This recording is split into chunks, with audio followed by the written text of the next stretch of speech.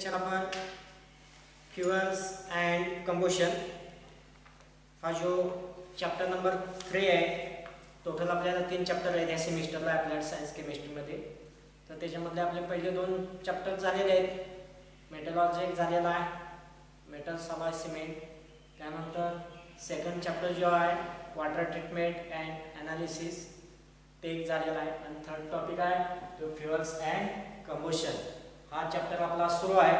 तर मागील लेक्चरला आपण त्याच्यामध्ये फ्युअल्समध्ये फ्युअल म्हणजे काय बघितलेलं आहे? फ्युअल म्हणजे इंधन म्हणतो आपण की एखादं इंधन जळल्यानंतर त्याच्यापासून आपल्याला हीट मिळते एनर्जी मिळते उष्णता मिळते. त्याला आपण इंधन फ्युअल असे म्हणतो. तर त्याचे कॅलरीफिक व्हॅल्यू बघितलेले आहे. कॅलरीफिक व्हॅल्यू म्हणजे काय? Higher calorific value lower calorific value हे मागील लेक्चर आपण बघितलेलं आहे. त्यानंतर कॅरेक्टरिस्टिक्स ऑफ फ्युअल पण बघितलेलं आहे. त्यानंतर क्लासिफिकेशन ऑफ फ्युअल फ्युअलचं वर्गीकरण आपण पाहिलेलं आहे. फ्युअलचं वर्गीकरण दोन प्रकारे बघितलेलं आहे. एक नॅचरल फ्युअल त्यालाच आपण प्रायमरी फ्युअल म्हणतो जे निसर्गामध्ये आपल्याला प्रामुख्याने आढळते. पेट्रोलियम वगैरे म्हणजे खनिज तेलाच्या ज्या खाणे आहेत त्या भेरी किंवा लाकूड वगैरे माहिती आहे आपल्याला. ह्या प्रायमरी म्हणजे किंवा आपण नॅचरल फ्युअल म्हणतो. आणि सेकंड आहे ते artificial of secondary fuel artificial म्हणजे मॅनमेड मानवानं त्याच्यावरती थोडीशी प्रक्रिया केलेली आहे की जे प्रायमरी फ्युअलपासूनच ते बनवलेले आहे पण त्याच्यावरती थोडीशी प्रक्रिया केलेली आहे. त्याला आपण आर्टिफिशियल म्हणतो. आता फ्युअल्स पुन्हा फ्युअलचं वर्गीकरण होतं बघा. Fuels are classified as fuels are classified आहे classified as first solid fuel solid, fuel, second liquid fuel, liquid fuel, the third gaseous fuels, solid fuels, liquid fuels, and third gaseous, gaseous fuels. Third fuel तीन प्रकारे वर्गीकरण होत आहे solid म्हणजे स्थायू liquid म्हणजे द्रव आणि गॅसेस म्हणजे वायू. तर सॉलिडमध्ये आपण लाकूड किंवा कोळसा वगैरे माहिती आहे कोळशाचे प्रकार ते सॉलिडमध्ये येतील. लिक्विडमध्ये पेट्रोल डिझेल यांचा समावेश होईल. गॅसेसमध्ये L P G gas C N G gas किंवा आपलं सिलेंडर माहिती आहे आपल्या घरगुती. त्याचा सगळ्यांचा समावेश हा गॅसेसमध्ये होईल. आता सर्वप्रथम आपण सॉलिड फ्युअल्स म्हणजे काय बघू? हे लिहून घेतला का? लिहून घ्या पहिला.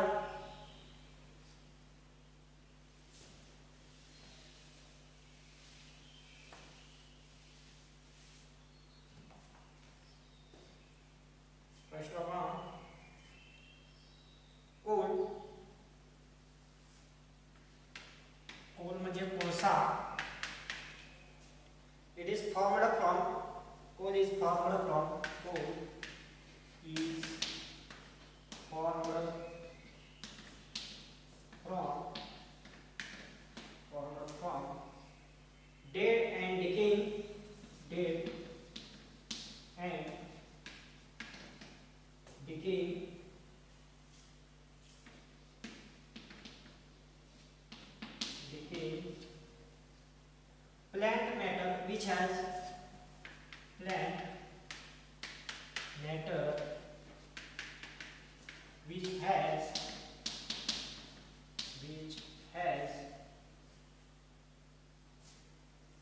been subjected to which has been subjected subjected to heat and pressure heat and pressure pressure. Under the earth's surface under the earth surface. Uh, surface for millions of years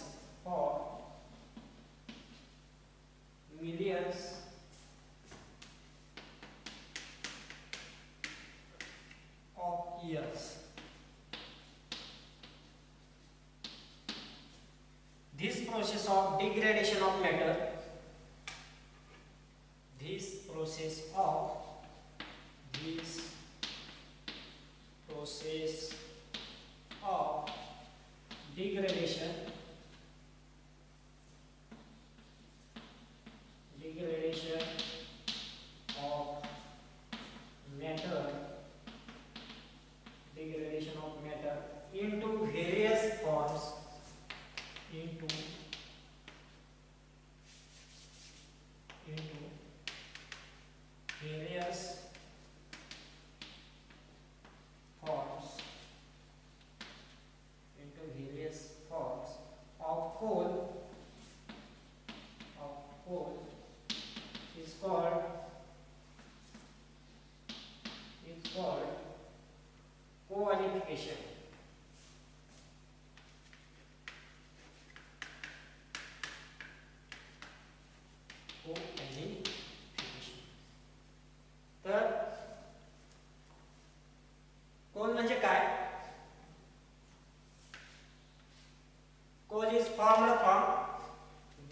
dead and decaying dead म्हणजे झाड मे जे मेलेली झाडं असतात आपण त्याला dead म्हणतो किंवा decaying म्हणजे नाश पावलेली कुजलेली झाडं. Dead and decaying plant matter which has been subjected to heat and pressure under the earth surface पृथ्वीच्या भूगर्भामध्ये.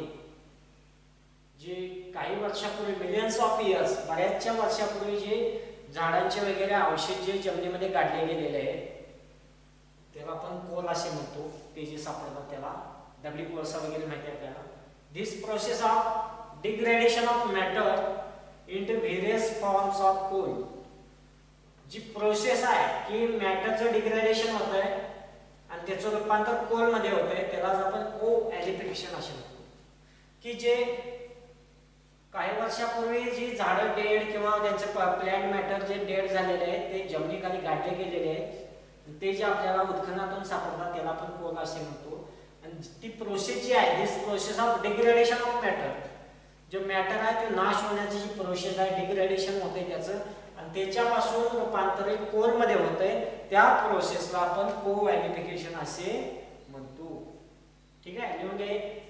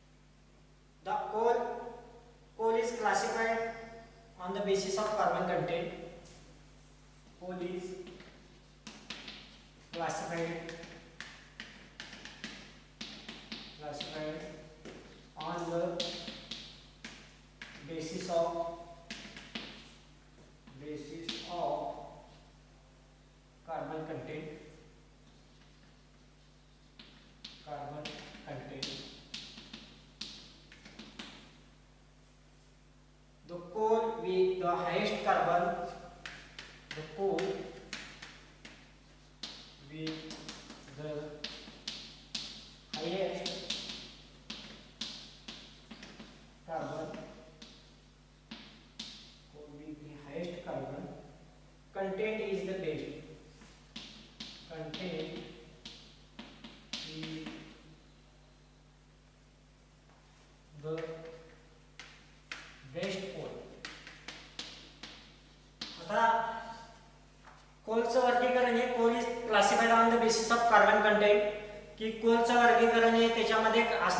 कार्बनच्या प्रमाणावर केलेला आहे.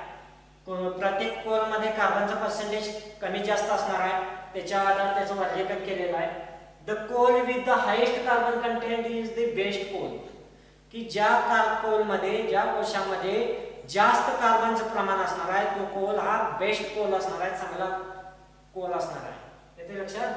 की ज्या कोशामध्ये कार्बनचं प्रमाण जास्त असणार आहे तो कसा असणार आहे? बेस्ट कोल असणार आहे. ज्याच्यामध्ये कार्बनचं प्रमाण कमी असणार आहे तो कोल थोडा लोवेस्ट क्वालिटीचा असणार आहे सर्वात लोवेस्ट ज्याच्यामध्ये सर्वात जास्त कार्बन कंटेस्ट असणार आहे तो हायेस्ट क्वालिटीचा कोल असणार आहे. ठीक आहे? आपण त्याच्या आधारे वर्गीकरण बघू. फर्स्ट आहे पीठ हे लिहून घ्या. टाइप्स ऑफ कोल आपण कोलचे टाइप्स बघू कोणकोणते आहेत.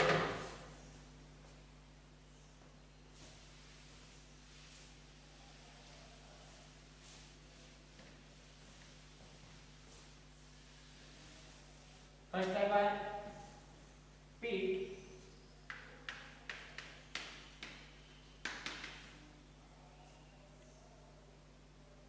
तर त्याच्यामध्ये कार्बन कंटेंट आहे carbon fifty seven percent fifty seven percent fifty two sixty percent fifty two sixty percent hydrogen hydrogen five point seven percent oxygen thirty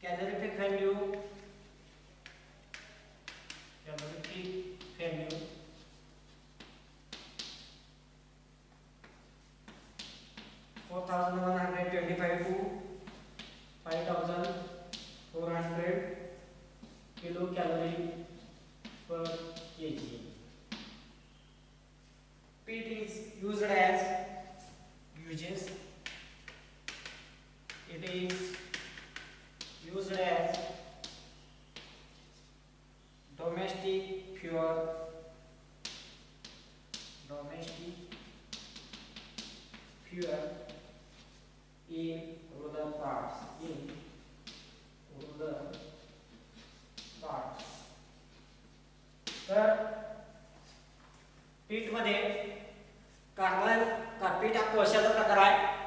त्याच्यामध्ये कार्बनचं प्रमाण आहे ते फिफ्टी सेवन पर्सेंट आहे. Hydrogen five point seven percent आहे. Oxygen thirty five point three percent आहे. Nitrogen two percent आहे. त्याची कॅलोरिफिक व्हॅल्यू जी आहे ती four thousand one hundred twenty five two five thousand four hundred kilo calorie per K G इतकी उष्णता त्याच्यानं मिळणारा कॅलरी व्हॅल्यू आणि युजेस याचा उपयोग हा domestic fuel in rural park हे आपल्या खेडेगावामध्ये त्याचा इंधन म्हणून वापर केला जातो. आपण लाकूड वापरतोय चुलीमध्ये. चुलीवरती आपण जेवण बनवतोय तर ते लाकूड जे वापरतोय ते आपण कोळसा म्हणजे कुठला आहे पीठ आहे हे त्याचा घरगुती वापरासाठी आपण त्याचा उपयोग करतो. लिहून घ्या.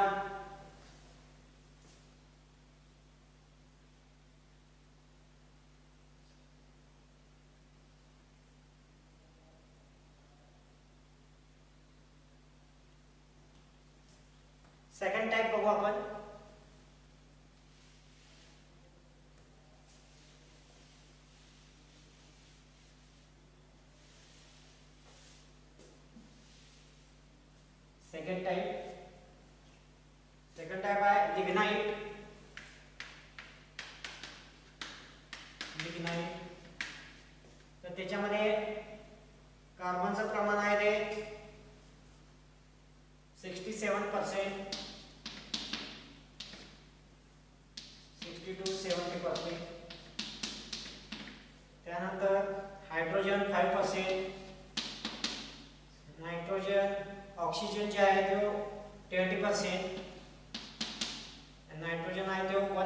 5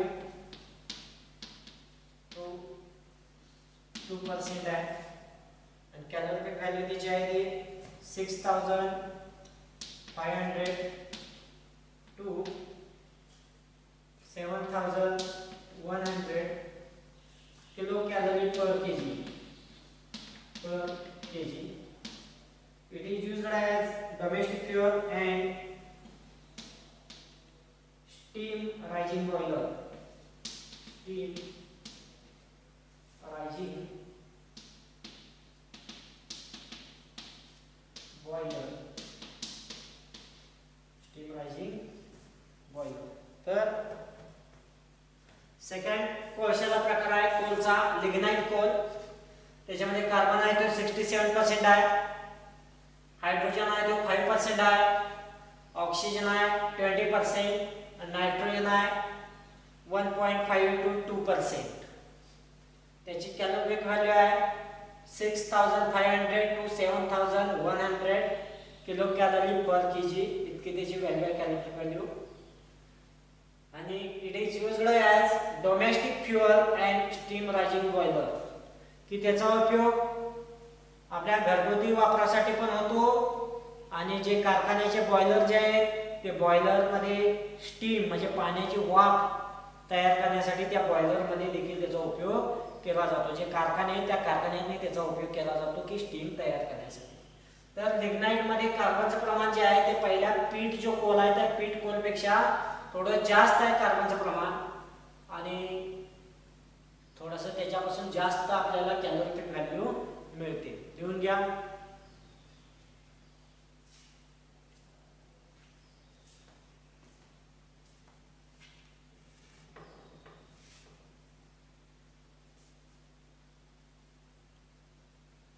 तिसरा प्रकार बघू आपण कोळसा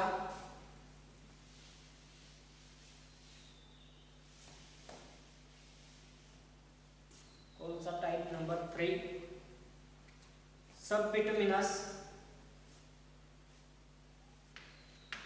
sub bituminous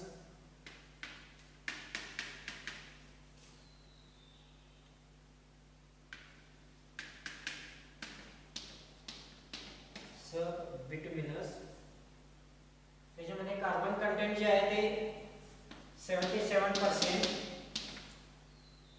seventy five to eighty three percent five percent hydrogen twenty percent oxygen आणि नायट्रोजन आहे तो one point five to two percent nitrogen calorific value जी आहे ती seven thousand to seven thousand five hundred kilo calorie per k g kilo calorie per k g त्याचे uses बघू उपयोग कशासाठी होतो तो It is used as fuel for it is used as fuel for fuel for steam electric power generation steam electric power generation steam electric power generation तर तिसरा कोणता प्रकार आहे तो सबबिटुमिनस त्याच्यामध्ये कार्बन कंटेंट आहे ते सेवन्टी सेवन पर्सेंट हायड्रोजन आहे five percent oxygen twenty percent nitrogen one point five to two percent calorific value आहे ती seven thousand to seven thousand five hundred kilo calorie per k g इतके आहे त्याचा उपयोग आहे वॉट स्टीम इलेक्ट्रिक पॉवर जनरेशन की जे पॉवर जनरेशनचे प्लॅन्ट जे मोठमोठे आहेत त्याच्यामध्ये स्ट्रीम तयार करण्यासाठी त्याचा उपयोग केला जातो. लिहून घ्या.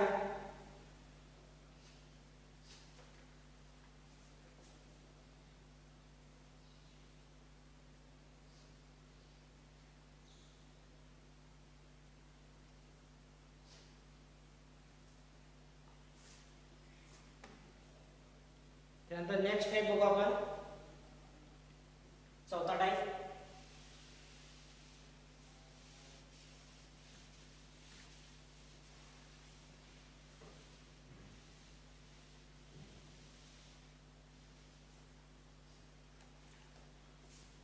Bituminous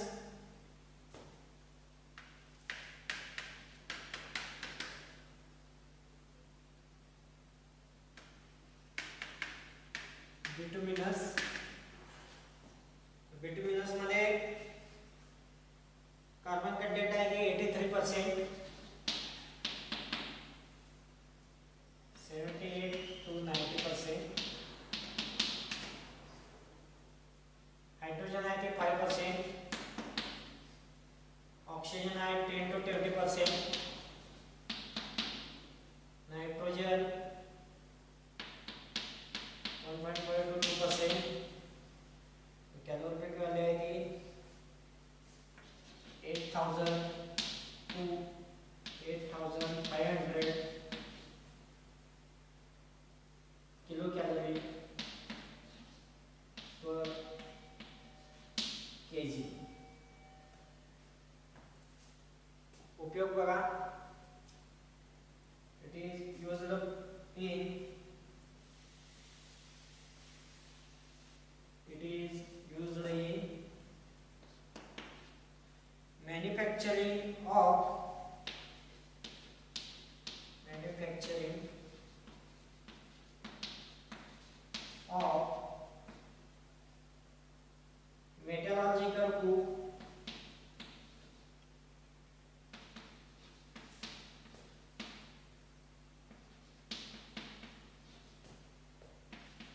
metallurgical cook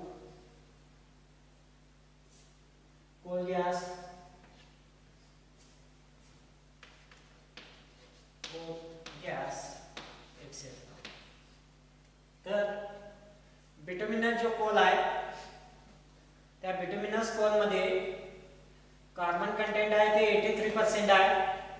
hydrogen content आहे तो फाईव्ह पर्सेंट आहे. Oxygen ten to twenty percent nitrogen one point five to two percent आणि कॅलरी व्हॅल्यू आहे ती eight thousand to eight thousand five hundred kilo calorie per k g इतकी असणार आहे. तर तिचे युजेस आहेत it is used in manufacturing of metallurgical cook. जे मेटलॉजी प्रोसेसमध्ये carbon in the form of coke चा उपयोग केला जातो. रिडक्शन प्रोसेसमध्ये स्मेल्टिंग प्लास्ट फर्नेसमध्ये रिडक्शनसाठी कुकचा जो वापर केला जातो तो कुक तयार करण्यासाठी याचा उपयोग केला जातो. त्यानंतर कोल गॅस कोळशापासून जो गॅस बनवला जातो कोल गॅस तो कोल गॅस हा बिटुमिनियस कोलपासून बनवला जातो. लिहून घ्या.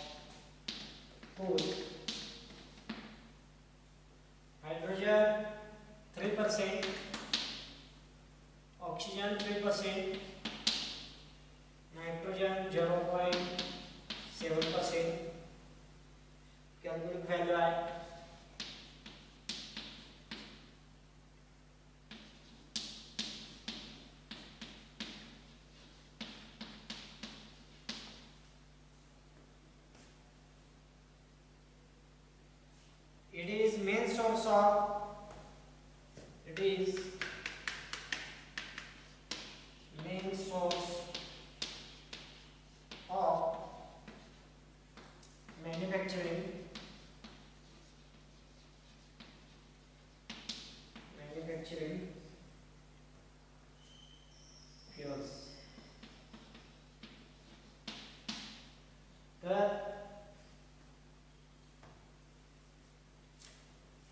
जो अँथ्रासाईट कोल आहे it is the highest rank of coal.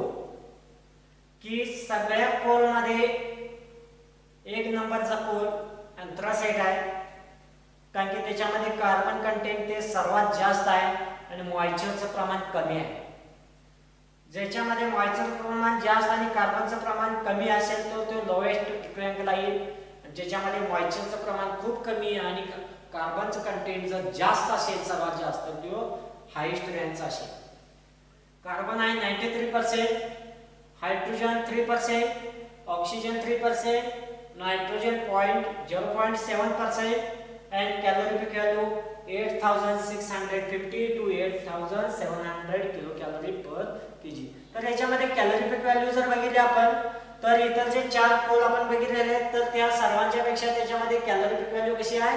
जास्त आहे कारण त्याच्यामध्ये कार्बनचं प्रमाण आहे ते सर्वात जास्त आहे आणि मॉइश्चरचं प्रमाण ते खूप कमी आहे त्याच्यामध्ये. It is main source of many manufacturing fuels की हा अँथ्रासाइड कोला आहे त्याच्यापासून अनेक फ्युअल्स त्याच्यापासून बनवले जातात. अनेक प्रकारची इंधनं त्याच्यापासून बनवली जातात. त्याच्यासाठी उपयोग त्याचा होतो. लिहून घ्या.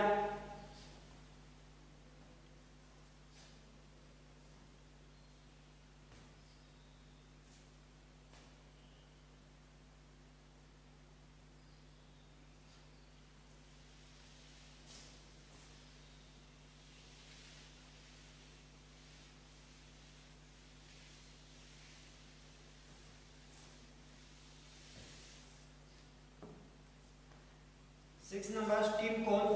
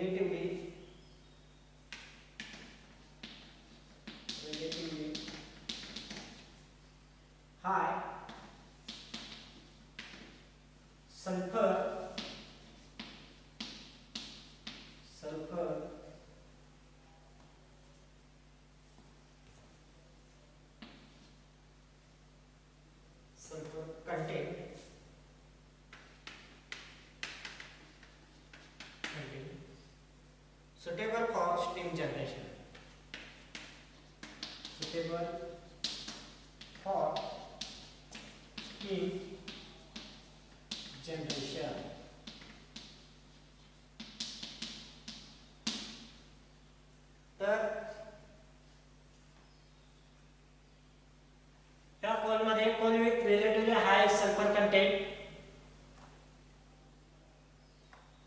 suitable suitable steam steam generation की याच्यामध्ये सल्फरचं प्रमाण जे आहे ते जास्त आहे आणि त्याचा उपयोग हा स्टीम जनरेशनसाठी वाफ तयार करण्यासाठी केला जातो.